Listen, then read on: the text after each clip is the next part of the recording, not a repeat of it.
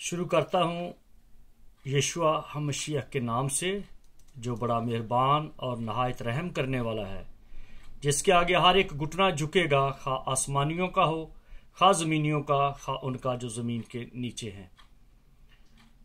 Programme Bible اور ہم کے تعلق سے evangelical friends of Christ agape team کی جانب سے آپ کی خدمت میں حاضر ہوں۔ میرے دوستو، میں اس بات کو آپ کے ساتھ شیئر کرنا چاہتا ہوں کہ صدقہ اور شکرانہ، نذرانہ، ہدیہ، چندہ اور دا یقی میں کیا فرق ہے؟ مختصر ٹائم میں جلدی کوشش کروں گا کہ اس کو کلیئر کروں۔ صدقہ جو ہے، یہ عربی زبان کا لفظ ہے، جس کا مطلب ہوتا ہے قربان ہونا یا واری جانا۔ یا کسی کی جگہ پہ اپنے آپ کو فدیہ میں دے دینا۔ ابرانی زبان کا بھی یہی لفظ ہے اور ایک ہی ایک طرح کے ہی مطلب ہیں ان کے۔ پھر آ گیا شکرانہ۔ تو شکرانے کی بھی اسی طرح کی ایک اصطلاح ہے، یہ فارسی زبان کا لفظ ہے، جس کا مطلب ہے کہ بچاؤ کے بعد کچھ دینا، کہ پڑھائی میں کامیابی ہو گئی، پھر کچھ دے دیا، حادثے سے بچ گئے، پھر کچھ دے دیا۔ تو وہ بھی ایک طرح سے قربانی ہی ہے کہ بچ گئے اور یہ اس کے افزانے میں یا اس کے طور پہ پیش کیا گیا۔ اب جو لفظ نذرانہ ہے، وہ ہے نظر سے۔ کسی کے آگے نظر کر دینا، اس نے بہت اچھا گایا ہے، اس نے بہت اچھی پرفارمنس کی ہے، اس نے بہت اچھا کچھ بھی کھیل کھیلا ہے، تو اس کو دیا جائے۔ اور پھر ہے ہدیہ۔ ہدیہ جو ہے وہ ایک تحفہ ہے اور یہ بھی نذرانے کی قسم ہے، جس میں سے کچھ پیش کیا جاتا ہے۔ اس کے بعد آگے لفظ آ جاتا ہے سخاوت، بائبل اس کے بارے میں۔ دوسرا خط کرنتھیوں کا نامہ باب اس کی نامی آیت میں کہتا ہے کہ دل کا جو رحیم ہونا ہے وہ سخاوت سے ہے کہ دل کا رحیم ہو کر تو کسی کو کچھ دینا وہ خداوند کو پسند ہے۔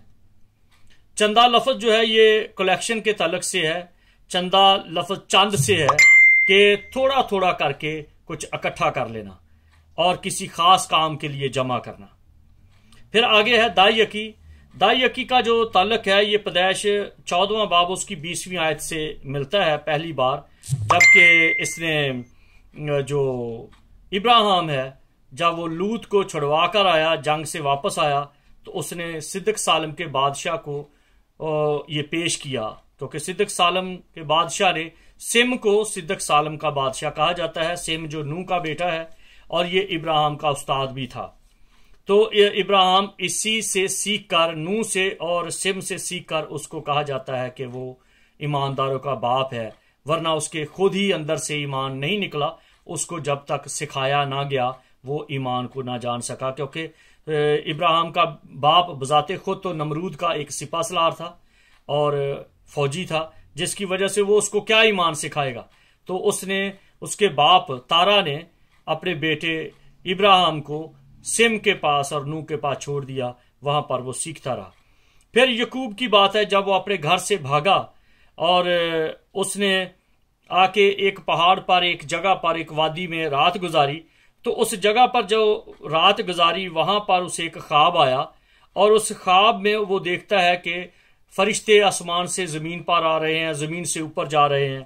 جب وہ صبح اٹھا تو یہ پیدائش اٹھائیسواں باب اس کی بائیسویں آیت میں لکھا ہے کہ اس نے اس پتھر کو جو اس نے سرہانے رکھا تھا مودی شکل میں کھڑا کر دیا اور پھر اس پر تیل ڈالا اور کہا کہ اگر میں سلامتی سے واپس آؤں اور اے خداوند، اے یہ ہوا تو مجھے برکت دے۔ تو میں اب جو کچھ تم مجھے دے گا، اس میں سے دسواں حصہ میں تجھے دیا کروں گا۔ یہ دوسری بات ہو گئی۔ دوسری بار یہ دائی کا ذکر آتا ہے، دسویں کا آتا ہے۔ پھر موسا نے استثنا کی کتاب، اس کے چودویں باب کی بائیسویں آیت میں دائی یقی مقرر کی کہ دائی دی جائے۔ اور پھر خدا نے خود اس کا تقاضا کیا، ملاکی کی کتاب، اس کے تیسرے باب کی آٹھویں آیت میں کہ دائی یقی میرے حضور میں لاؤ۔ اور یہ دائی کی کن لوگوں کے لیے حصہ ہے، کن لوگوں کے لیے یہ ضرورت ہے اور ان کا، ان پر استعمال کیا جائے۔ تو یہ ہے استثنا کی کتاب چھبیسواں باب، اس کی بارہویں آیت میں لکھا ہے کہ یہ لاویوں کے لیے ہے، مسافروں کے لیے ہے، یتیموں کے لیے ہے اور بیواؤں کے لیے ہے، تاکہ وہ سیر اسودہ ہوں۔ اور جو، جن کا بھروسہ صرف اور صرف خداوند پر ہے۔ یہ بالکل یہ ذکر نہیں کہ سارا، سارے کا سارا پادری لے لیں۔ اور بشپ لے لیں اور سارا وہ پیسہ کچھ اپنی ذات پر، اپنی عیش و عشرت میں خرچ کریں۔ اور باقی کا وہ چرچ جو ان کا چرچ انڈسٹری ہے، یا چرچ کا جو انہوں نے ایک دیوتا بنا لیا ہے، یا چرچ کو جو بت بنا لیا ہے، اسی کو کبھی ماربل لگا لو، کبھی کو رنگ لگا لو، کبھی کو پینٹ کر لو۔ تو یہ پیسہ جو ہے، یہ غریبوں، یتیموں، مسافروں کے لیے ہے، ان پر بھی خرچ کیا جائے۔ پھر یہ ہے کہ اس کی یہ کہا جاتا ہے کہ دائی جو ہے یہ خاص طور پہ مخصوص ہے، مخصوص لوگوں کے لیے۔ جیسے کہا گیا لاوی، تو یہ عام لوگوں کے لیے نہیں ہے۔ اپنے آپ کو خود ہی لاوی نہ بنا کے بیٹھ جائیں اور اپنے آپ کو خود ہی پریسٹ نہ بنا لیں۔ جب تک لاوی جو ہے وہ سیکھتے تھے، بزرگ خادموں سے، بزرگ کہنوں سے، بزرگ لاویوں سے سیکھتے تھے، پھر وہ بڑی دیر تک جو ہیکل تھی، اس میں کہانت کے کام میں مدد کرتے تھے۔ خلاصے کے طور پہ میں یہ کہتا ہوں کہ اپنی خدمت میں بھی اس پیسے کو استعمال کر سکتے تھے۔ یہ استثنا کی کتاب اس کے چودویں باب کی چھبیسویں آیت سے لے کے ستائیسویں آیت تک لکھا ہے۔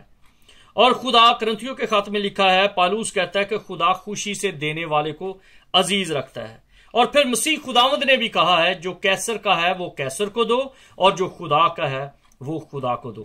میرے عزیزوں ان باتوں کو خاص طور پہ یاد رکھیں، اس میں بہت بڑی غلط فہمی ہے۔ لیکن یہ وہ چیزیں ہیں جس بائبل، پوری بائبل میں کسی جگہ پر خدا کبھی نہیں کہتا کہ انسان نے مجھے ٹھگا ہے اور خدا، انسان نے میرے ساتھ چیٹ کیا ہے، لیکن دا یقی کے معاملے میں خدا کہتا ہے کہ تم نے مجھے، بلکہ پوری قوم نے مجھے ٹھگا ہے، اس لیے تم سخت ملاؤن ہوئے اور جو شخص لانت کے نیچے ہے، وہ کیسے برکت پا سکتا ہے؟ اس لیے اپنی دا یقی خداوند کے حضور اکٹھا کریں اور ضرور ادا کیا کریں۔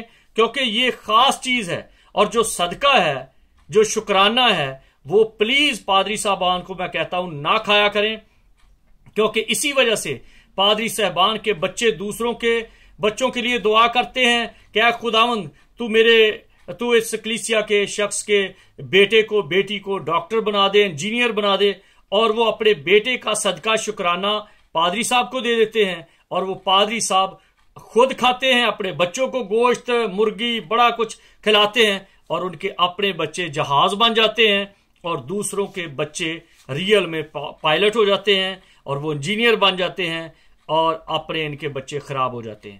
سبب یہ ہے کہ وہ شکرانے کے اور صدقے کے پیسے خود کھاتے ہیں۔ اس لیے اگر آپ چاہتے ہیں کہ آپ کے بچے اچھی طرح سے اچھے شہری بنے، اچھے مسیحی بنے، تو میرے عزیزوں وہ پیسہ جو شکرانے کا ہے اور جو صدقے کا ہے، وہ چرچ میں رکھ دیں، وہ عبادت خانے میں رکھ دیں، وہ غریبوں، یتیموں کے اکاؤنٹ میں ڈال دیں تاکہ وہ پیسہ چرچ کی طرف سے ان کی ہیلپ ہو جائے۔ آپ کا کیا حق ہے؟ دائ کی حصے کے ساتھ لے لیں اور جو نذرانہ وہ آپ لے سکتے ہیں اور جو سخاوت ہے وہ اگر کوئی سخاوت ایک پاسٹر کو اچھے کپڑے دیتا ہے یا کسی غریب کو، یتیم کو کچھ دیتا ہے، تو سخاوت پہ، چندے پہ، ہدیے پہ پاسٹر صاحبان کا، بشپ صاحبان کا اور پریسٹ جو ہے ان کا جو وینجلسٹ ہے ان کا حق ہے۔ لیکن صدقے اور شکرانے پر ان کا حق نہیں ہے۔ کیونکہ اگر وہ کھائیں گے تو کھا تو سکتے ہیں۔ کھانے کے لیے تو کوئی ان کے منہ پر ہاتھ نہیں رکھ سکتا۔ لیکن اس کا رزلٹ دیکھ لیں۔ اسی سبب سے تمام طرح کے پادری صاحبان کے بچے جو ہے وہ غلط نکلتے ہیں۔ اس کی وجہ جو ہے وہ یہ نہیں کہ ان کے بچے جو ہیں وہ غلط تخم ہوتا ہے یا گندا خون ہے، وہ خدا کے لوگوں کا